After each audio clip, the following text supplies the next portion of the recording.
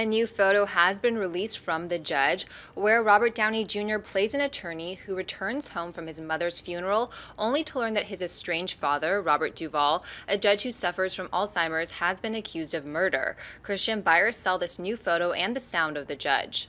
Uh, I'm going. I would have bought it beforehand when you just told me Duvall and Downey were in it together. But we just recently had on David Gambino, who's the president of Downey's company and a producer on the movie, and he talked to us about this movie and really what they're going back to do. And it's like a Rain Man type feel. And Downey's getting away from the star character, which obviously we all love, yeah. but he's doing a little. He's doing a little more, and, and he's one of the greatest actors that we've Phenomenal. seen. And now he gets to play into against back and forth with Robert Duvall.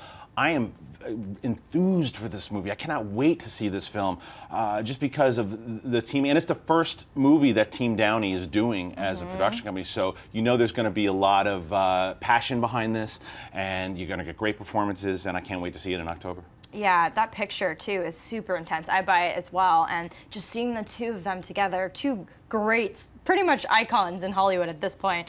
Um, it's just, it's really intense and, and really well made, and I love the premise. It sounds really interesting and cool. dark and yeah. cool, and you're right. I mean, I loved uh, his little cameo in Chef. Mm-hmm. Um, it was small but still wonderful. And you're right, I like to see him go back to his dramatic roots as well. And I feel like most people haven't even seen him as Chaplin.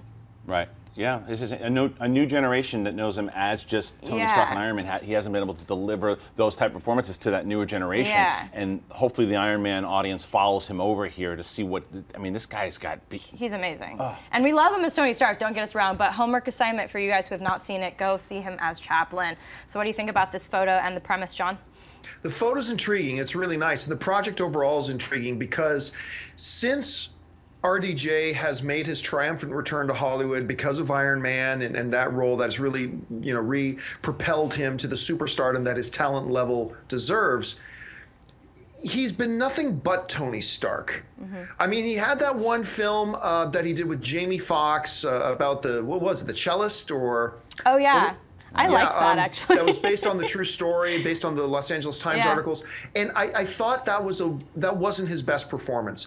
And then we saw him in the in the comedy and a couple of comedies where he's just felt like Tony Stark to me.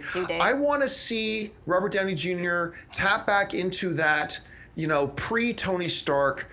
Uh, Robert Downey Jr. that we've had because it, it almost feels to me like he's become Tony Stark, and that's all. Whenever I see him on screen now, and this this is more my problem than his problem. But when I see him on screen now, all I see is Tony Stark, and then all I see is the Tony Stark mannerisms.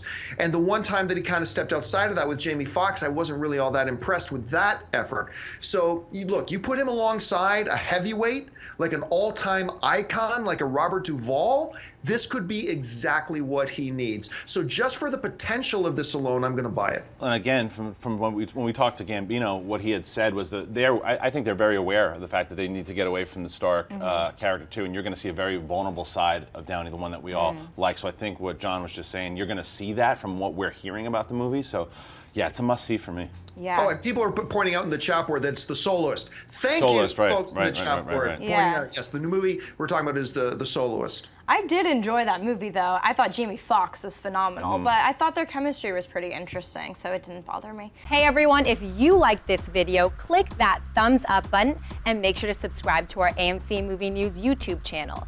It's free and helps you stay up to date with all the latest movie news, as well as our daily AMC movie talk show.